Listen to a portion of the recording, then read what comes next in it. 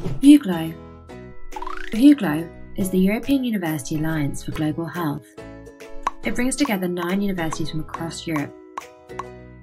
It unites 338,500 students, 54,000 academic staff, and 112 faculties. Combining these resources and expertise in global health, EUGLOH will set the foundations for a common European health area. This initiative is so important because in a world where everyone is so connected, our education should be as well. Above all, health must be conceived globally and transdisciplinary.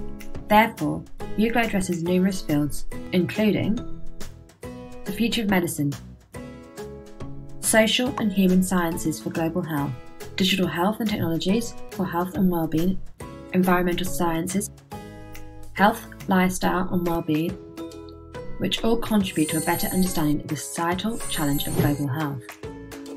EUGLOH and the European Universities Alliances are a game changer in how universities will work in the future, positioning European higher education and research at the forefront by training future generations of European citizens as leaders, innovators, and experts. Check out our website to find out more and follow us on social media.